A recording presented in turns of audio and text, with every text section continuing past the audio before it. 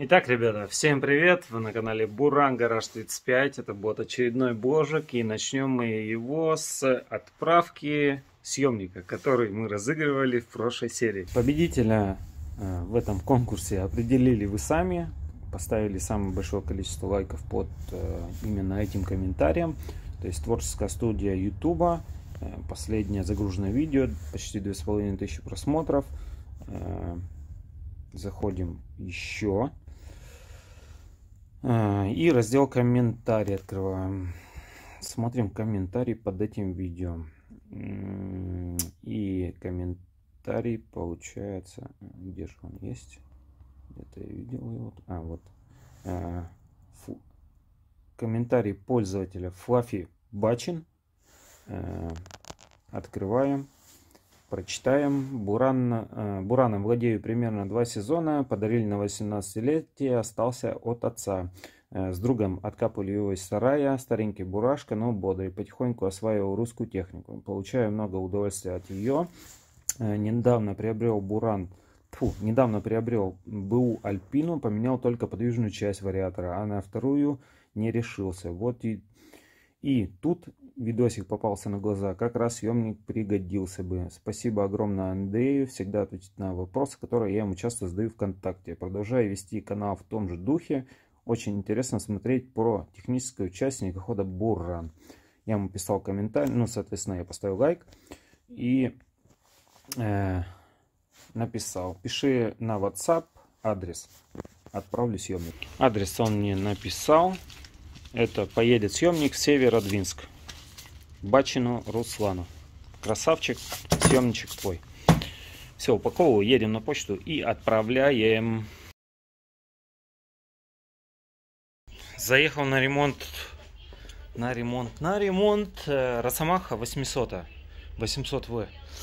Он же у меня был э, летом на предсезонном об, обслуживании.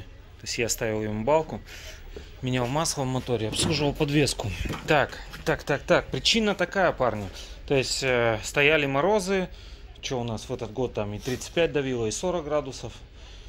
И снегоход начал очень плохо запускаться. То есть пык-пык, мык-пык, но не запускается. Э, получается как? То есть, сейчас накинем. У него два аккумулятора. Один сидит под сиденьем аккумулятор, это у нас 18,9 ампер час и 270 пусковой. И второе КБ у его, это я, я ему уже ставил э, сюда, это 45-ка. Ну, типа Deo Matiz 360 ампер час э, пусковой ток. Вот. Что получается? Какие, какие признаки вообще были? То есть высаживают оба аккумулятора, да, в мороз, не может запуститься он, э, хозяин ставит вот этот аккумулятор на зарядку, ночь заряжает, снегоход буквально там пять раз стартер крутит, на шестой раз он уже не крутит и все. В итоге причина, причина банальная, зарядка у него есть, да, зарядка есть, а вот этот аккумулятор, он дохлый и получается он, видите, как бы он стоит у меня и у его напряжение падает. Постепенно сейчас, ну подождем секунд 20, и она упадет на восьмерку. И так она будет падать до 9 вольт. То есть он зарядку берет, но он ее моментально э, тут же как бы э, просто-напросто стоявший, он ее выдает. И получается, что вот этот аккумулятор садит вот этот аккумулятор, когда снегоход стоит. Когда снегоход едет, вот этот аккумулятор нормально заряжается, этот, соответственно, ну, тоже подзаряжается, но как только встал, заглушил, сразу он, вот этот аккумулятор начинает сосать тот. Изначально в этом снегоходе было два вот таких аккумулятора. Этот у нас засовывается вот туда у его ниша, вот так вот. А второй стоял вот здесь. Для этого сделана в сиденье вот такая выемка. То есть второй стоял здесь. Один уже испортился давно, этот еще работал до этого года, до сильных морозов. Сейчас он перестал работать. Как-то вот так. То есть сейчас просто-напросто выкидываем из сети вот этот аккумулятор, убираем его, и одной сорокопятки для этого двигателя будет достаточно. То есть он будет и заряжаться нормально, и запускать мотор нормально. Почему на этой версии снегохода стоит два аккумулятора? Потому что мотор 800. То есть объем большой, и чтобы толкнуть такой э, двигатель, соответственно, завод ставил два аккумулятора. На 600 версиях, я думаю, снегохода там стоит всего один аккумулятор. Большой аккумулятор сюда не поставить, так как нету места просто-напросто для аккумулятора. Они ставят, ну, то есть на 800 версию они ставят два аккумулятора. Как-то так. Сейчас у меня подцеплен, то есть этот откинут, э, подцеплен этот. То есть, ну, я просто-напросто сначала запустил, посмотрел, зарядка идет 14,3, как надо. А почему э, высаживаться? Я сразу тот аккумулятор отцепил, померил, ну, вот цешку поставил, тут мерить ничего не надо. Он сам по себе стоит, и он сам по себе садится если включить просто-напросто зажигание, он еще быстрее будет садиться. И зажигание, по-моему, я смотрел на этом аккумуляторе. Да.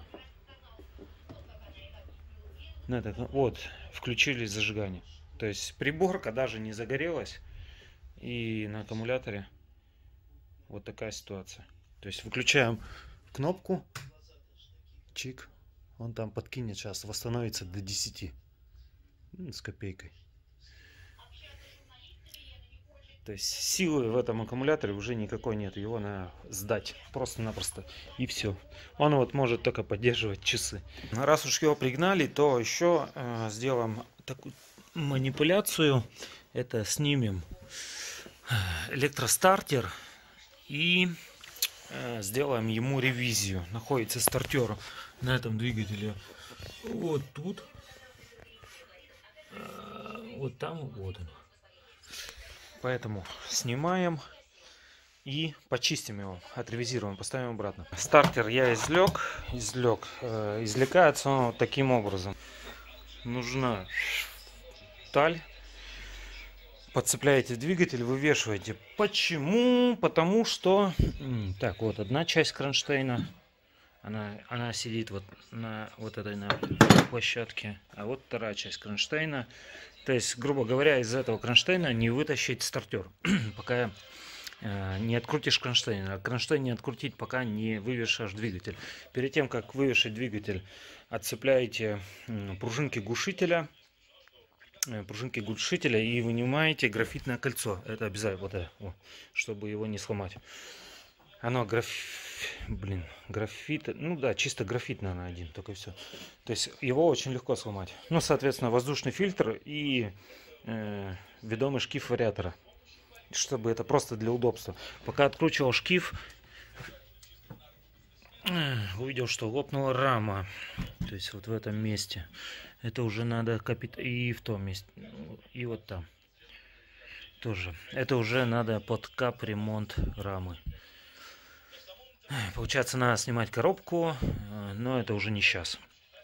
Э, сейчас я только подожму коробку в ту сторону немножко, сколько смогу. И по автоматам пройду шов с этой и не знаю, там получится у меня, не получится, но вот это точно получится. Так, это ладно. Э, и заметил, что э, получается все везде масло. И вот здесь я уже вытер масло. Вынимаю щуп, а там ноль. То есть на, в моторе нет масла. Хотя перед сезоном э, я его обслуживал и был, было залито выше уровня. Вот, короче, получается, было вот здесь все масло. Было все масло. И вот на этой башке то ли течет масло, не могу понять, то ли течет масло из-под клапана крышки, из-под клапанной крышки или из-под самой башки. Вот это не этот самый, остается загадкой. Но эта башка вся в масле. То есть эта башка вся сухая, а это вся в масле. Ладно, сезон уже не этот самый, не за горами конец. Поэтому бахнем еще один уровень масла. Поездит. Поездить, посмотрим. Если убудет, то будем уже разбирать. Ну, то есть, вот, было, видите, как там я вытер тряпкой под кронштейном. И на кронштейне видно, что свежее маслицо присутствует. Убираем стартер, варим раму Ну и собираем все на место. В принципе, тут э, ничего криминального нет. Отсюда я выдал пыль уже все. Щеточки в хорошем состоянии, что эти, что те. То есть еще щетки есть. Так, а люфтец, э, вот этот продольный, он убирается вот такими регулировочными шайбами. Так, и по сути дела, сейчас попробую найти. Одну шайбочку мы такую подкинем. И люфтец будет поменьше. Все. Помоем вот эту крышку. Тут немножко гадости есть. Э, гадости есть, а гадость это скорее всего потому, что не держит сальник. Вот сальничек бы можно заменить. Сальничек можно заменить, потому что если будет в стартер попадать масло, то есть, да, э, стартер у нас стоит прямо э, в картере в полости двигателя. То есть, э, если сальник будет пропускать, то масло будет, будет полный стартер. Все полностью собрано. Э, зарядку у нас показывает на приборке 13,5, а по факту зарядка 14. Ну, это она скачет тут, потому что плохой контактик. Если поднажать, то 14,3 как-то так. А если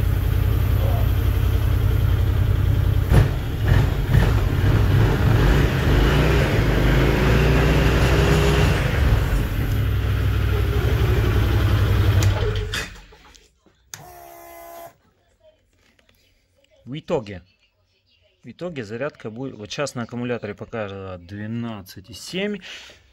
В итоге немножко, ну и здесь, вот сейчас ровно показывает. 12,7. Ну, как бы этот аккумулятор э, заряжался, но он может, там заряжался он недолго, то есть у пацанов в сервисе стоял, может часа два. Он был тоже в районе 10 или 11, как-то так. Так, осталось мне, осталось мне, то есть я все обратно вернул, мотор полностью, э, по-моему, прикрутил. Не по-моему, а прикрутил, проводку все обратно собрал, как была на хомутиках.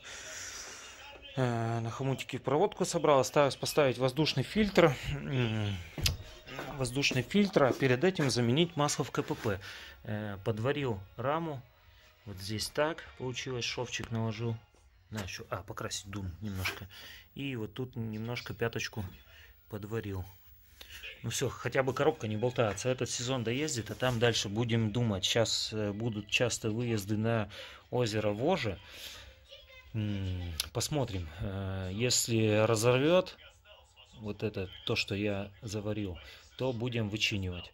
Если не разорвет, то так и оставим. Ну, это так, сказ... так хозяин сказал. Э, на самом деле это лучше починить, потому что потому что если начнет рвать дальше и не уследить за этим, там вообще просто-напросто чинить нечего будет. Просто все разорвет все разорвет и потом придется больше, больше, э, больше работы производить. Подъехал донат. Сегодня у нас вкусняшки, большая пачка чая. Пригодится. Нутелла. О, нифига себе, мы чай вопьем. Перчаточки, перчаточки, ну как и говорил, всегда, всегда пригодятся перчатки. Две, две пачки пригодятся. Ферри. Ферри это тоже хорошее, хорошее средство для мытья рук. Ну, можно и посудку помыть изредка. Смотрите, сколько вкусняшек. Две банки кофе. О, Джардин. Раз. Два. Даже разные. Одна Gold, другая Deep Dark.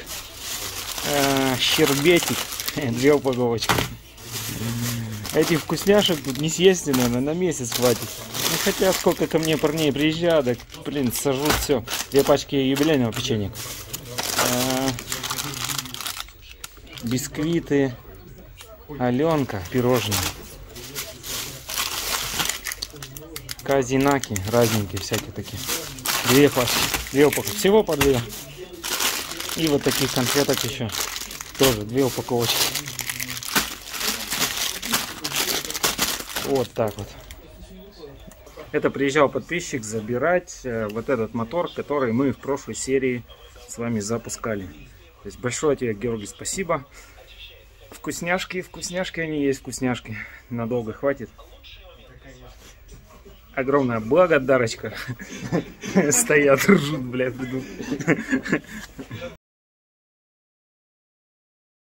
Обслуживание своего снегохода. Ну, загнал чуть-чуть поделать, но в итоге разобрал опять пол, ну не полностью, но практически. Ездил я, э, то есть у меня стоит э, ДДшный резонатор, вон он лежит, э, ДДшный резонатор и был выхлоп сделан в бок через капот. То есть в капоте вырезано здесь отверстие и сюда выходил выхлоп. Э, такой выхлоп блин, как бы он нормальный, да, то есть он не в гусеницу, но, блин, надоело. Едешь, и у тебя правая портошина, хоть и ездишь на хорошем масле, все равно правой э, штанины от штанов именно воняют маслом. Все это надоело, решил попробовать, э, как бы не стал делать в штатное место, вот сюда у меня здесь даже дырки нету, ничего. То есть у меня рама по новой варена. Я уже ее завар... ну как бы изначально ее не делал. Поэтому попробовал, сделал вот так. То есть вот такую дрень. Варил сюда трубу. И будет выхлоп сделан как на... Э, как на буране лидере. То есть на лидере, на новом э, уже сделано вот так. Осталось мне, то есть сюда закладную я варил. Э, ну, это кусочек вырезан с той стороны. Он тут с трубочкой идет. Трубка там сантиметров 10, наверное, в сам глушитель входит, получается. И остается э, это уже по месту. По месту, когда накинется весь глушитель, это по месту вот это колено сварится. И приварится два ушка под пружинки. Под пружинки, чтобы это все можно было стягивать пружинками. Больше всего загнал его из-за того, что погнули все рулевое. Рулевое у меня переделано на э, ну, эту тягу стабилизатора. Сама тяга живая за с 14 с 14 года одна и та же ездит, не порвалась ничего, вот так вот на соплях все ездила временно, что временно, что пацаны постоянно. И погнула, грубо говоря, вот эту, ну я ее распилил, вот так вот, ну видно, да?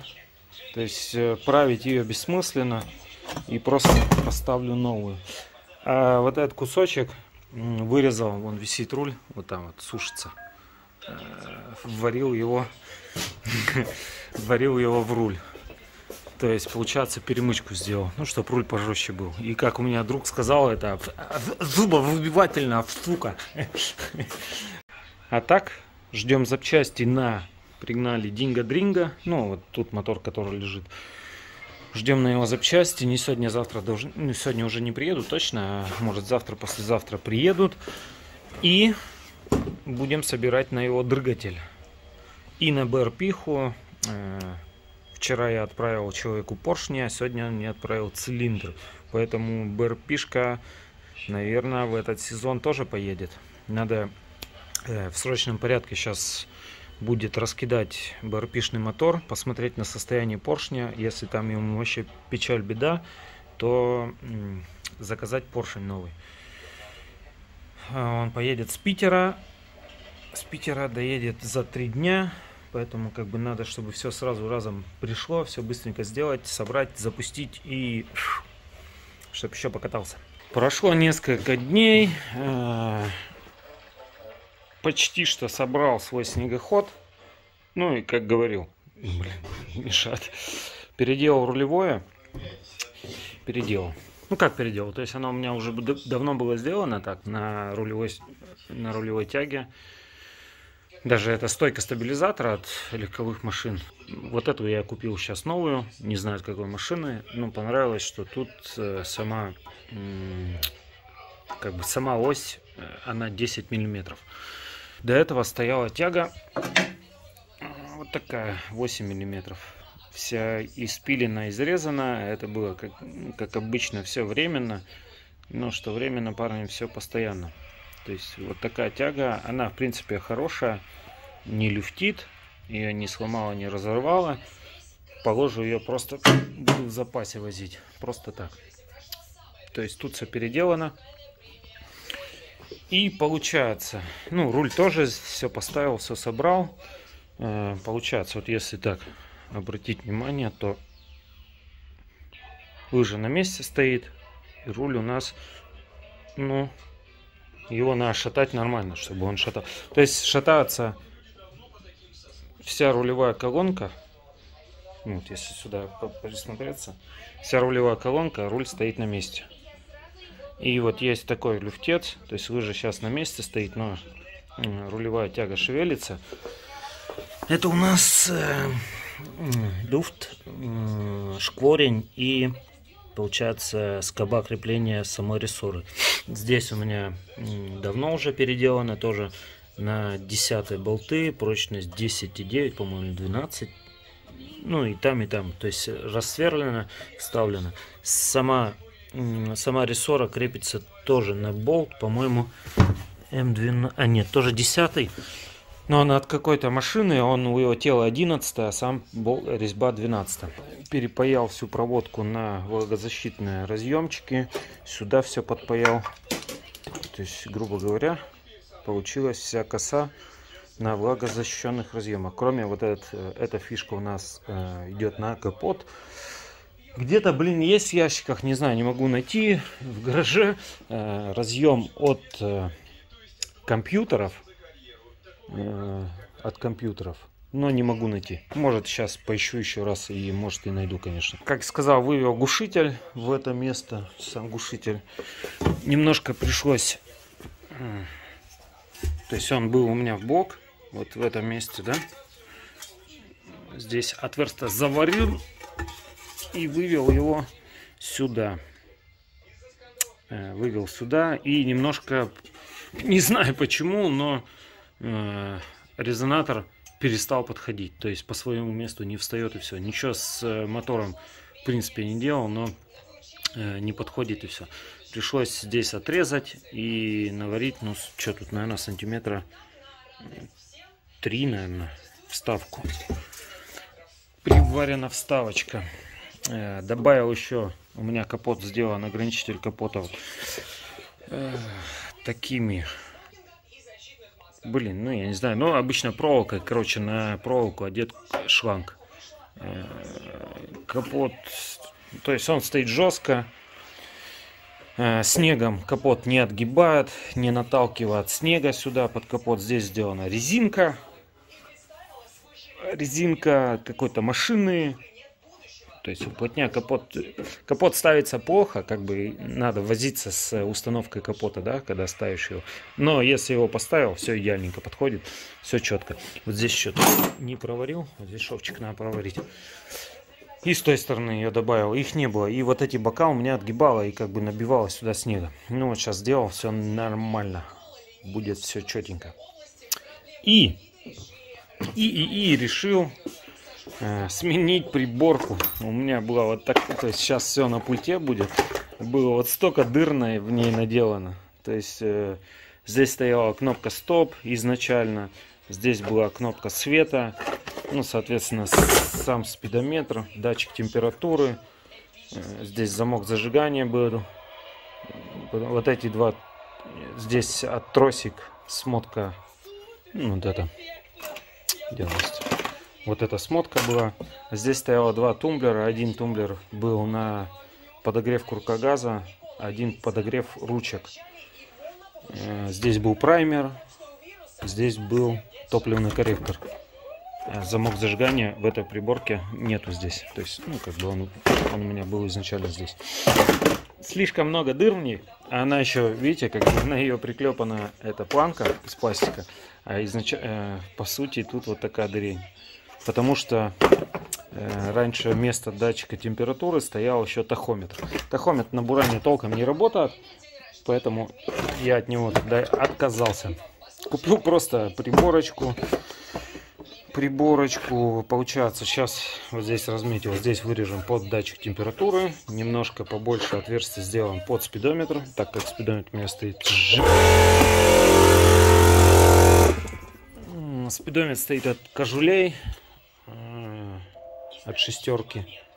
Он немножко больше диаметром, под него расширим сюда встанет топливный корректор, а вот это отверстие будет пустое. Но так как тут датчик, мы его запаяем. То есть, ну, сделаем вставочку и запаяем с той стороны. И вот это отверстие тоже запаяем. Так как здесь должен быть, по сути дела, на новых буранах замок зажигания, а я уже рассверлил вот сюда, здесь у меня замок будет. Почему на, как на приборке выстроено? Потому что переключаем передач здесь у меня. То есть мне нравится с этой стороны переключаем передач, чем с той стороны. Почему? Рассказываю.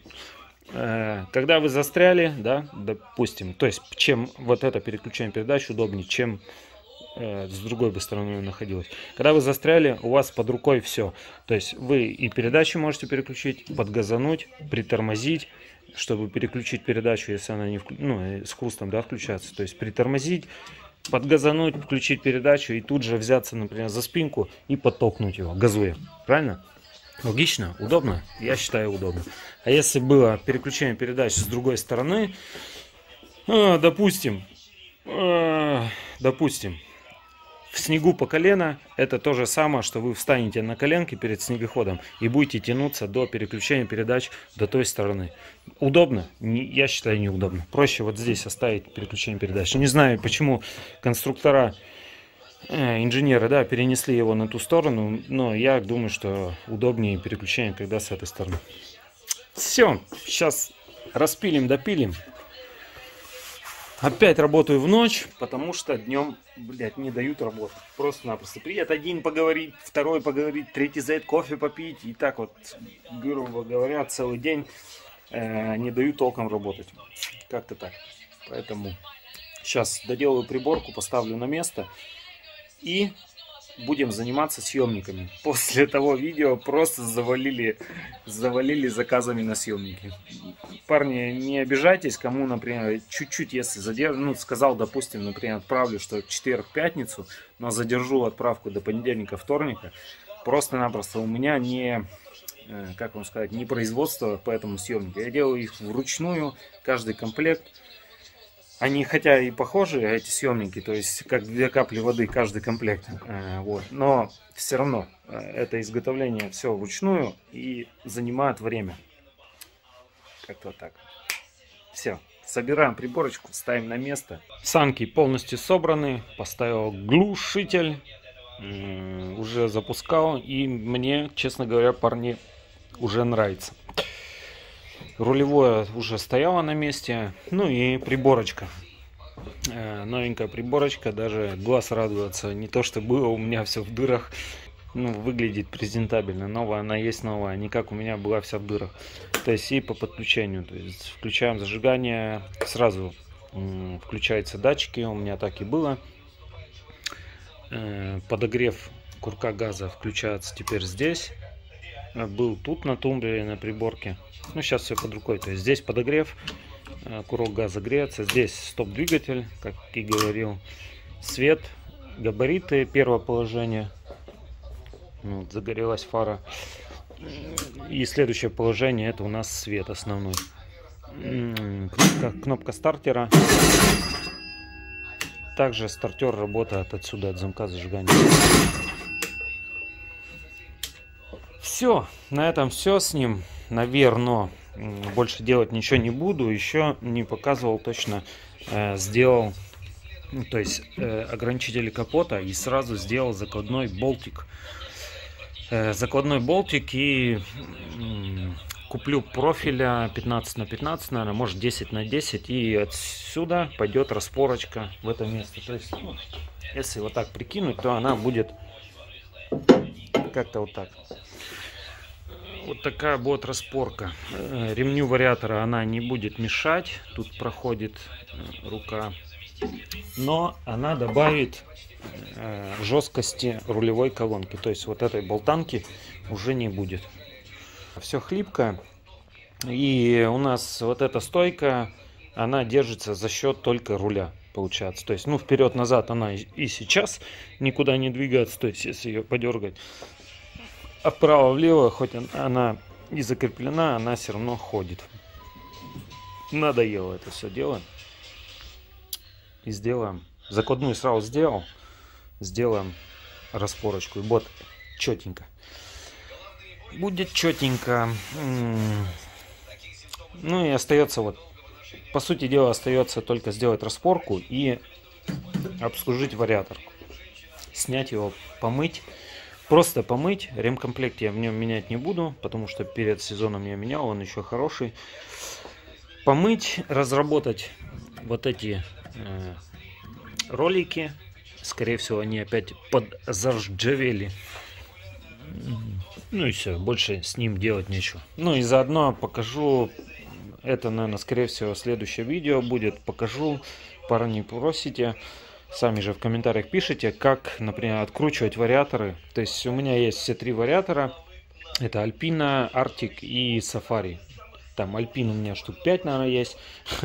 Артик 1, только вот этот. И Сафари, два вариатора. То есть покажу на примере всех трех вариаторов разных. Э, покажу, как они откручиваются, закручиваются, что там не так.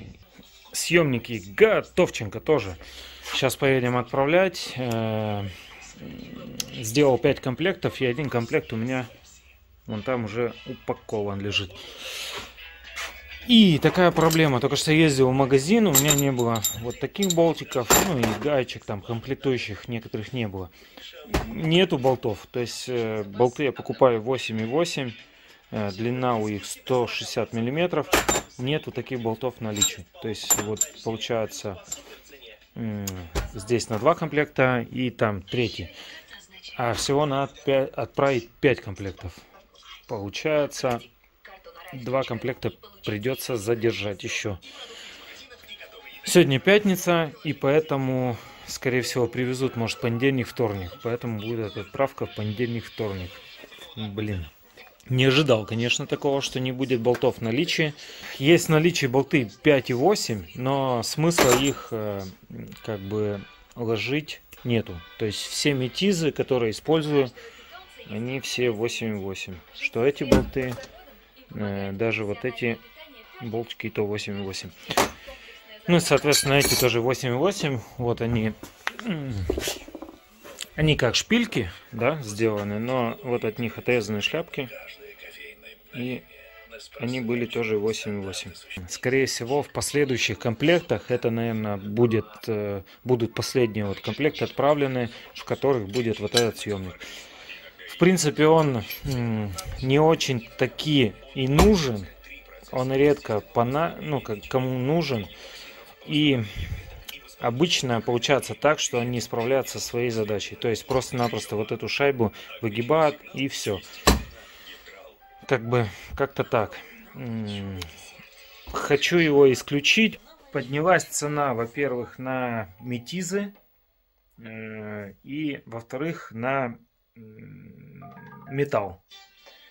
Поэтому, э, как бы, если съемник этот не убирать, то придется поднять цену на весь комплект. Не хочу, в принципе, цена у меня, которая сейчас есть, более-менее устраивает. Поэтому я уберу вот этот съемник, а все остальное останется то же самое.